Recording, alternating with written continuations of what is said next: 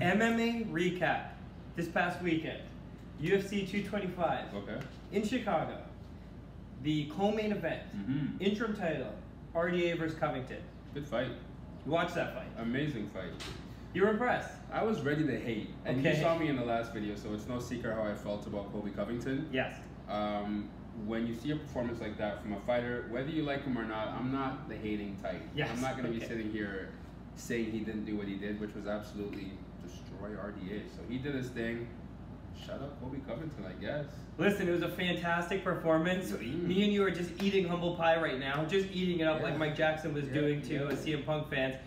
And I think he cemented himself as that contender Mhm. for Woodley Strap. Mm-hmm. So before I get to his future opponent, I want to talk about his post-fight interview. So I thought that was almost just as entertaining as his performance. The one with Michael Bisping? The one with Michael Okay, Bisping yeah, on yeah, that yeah. post-fight show. Five-minute segment of those two bantering. Okay. You saw that? I saw that, man.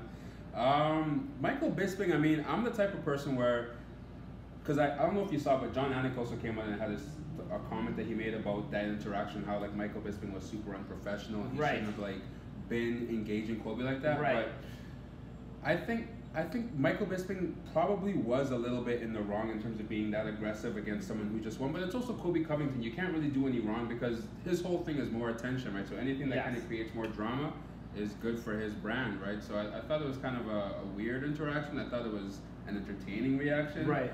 But um, yeah, overall, I guess I guess it's all good. I. I enjoyed it. Yeah. Honestly, all it did for me was it hyped up the next fight. Mhm. That's all it really does for me. I mean, yes, he's a polarizing person. Yes, he says things off the cuff. But yes, we knew he was going to do that. Mhm. And yes, we're more interested in seeing him fight T Wood. So what he did, job well done. You know, you won inside the ring and you won outside the ring in the post fight.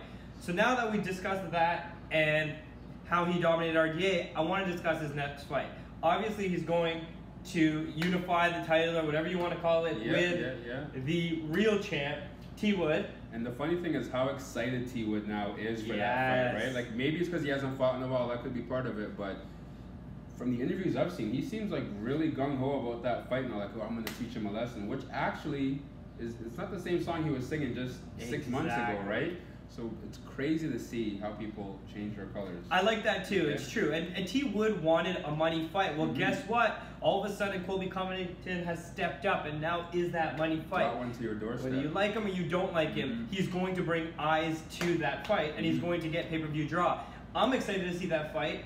I don't know, and I don't think the white belts are going to tell you where we're going to lean right now with that fight because it hasn't even been announced yet. come on back.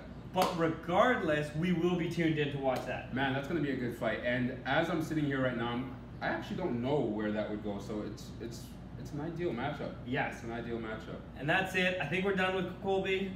Let's end it. Chaos. Ah.